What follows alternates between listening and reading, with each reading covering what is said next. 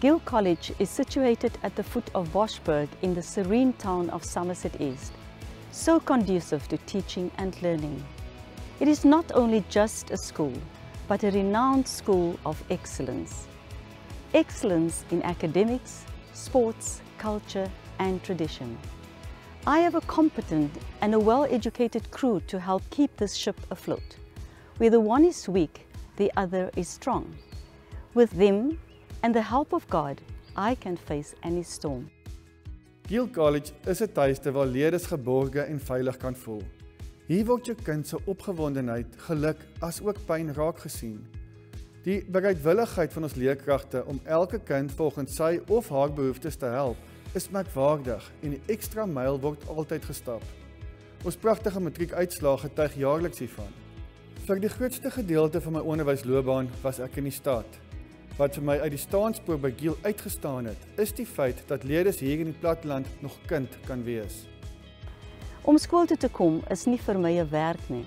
Dis familietyd. Om deel te wees van 'n waardegedrewe familie is slegs 'n voorreg.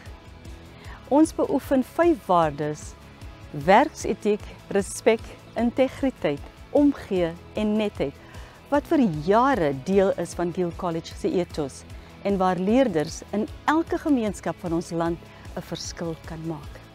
Gill College has taught me to be the person that I am today. My confidence and high self-esteem is rooted here at Gill College. It has most importantly been a very warm home to me. Through Gill College, I know what it is to be a person with respect and integrity. And for that, I can proudly say, I am a Gillian. Smaller number in classes make it easy for the educators to reach every learner. Individual attention is crucial in every school. That's why learners at Gill College are known by name and not by number. Talking about numbers, although we are small in number, we are a definite competition to the bigger schools. At the end of matric, we send out confident, bilingual young people ready to make a difference in society. Hier leer ons jong mense die waarde van leierskap. Dit word verdien. Jy werk vir 'n posisie. Dit is nie net 'n status nie. Die leerders ondersteun en moedig mekaar aan, van iemand se sak dra tot hulp met 'n wiskunde probleem. Daar word geleenthede vir hulle geskep en dit vorm deel van ons belofte om die kind in sy totaliteit op te voed. Giel het my geleer van sportmanskap. En hier het ek 'n tweede familie in my onderskeie sportspanne gevind.